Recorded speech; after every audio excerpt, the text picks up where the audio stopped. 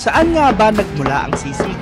Kakakay, samahan niyo kami dito sa Angeles, Pampanga upang tikman ang pinagmamalaking sisig kapampangan ng Aling Sisig since 1974. Panoorin natin kung paano nga ba ang proseso ng pagluluto ng authentic pork sisig na talaga namang binabalik-balikan ng mga dayo at ng mga taga rito. Kaya naman tara na mga kakay, kain tayo.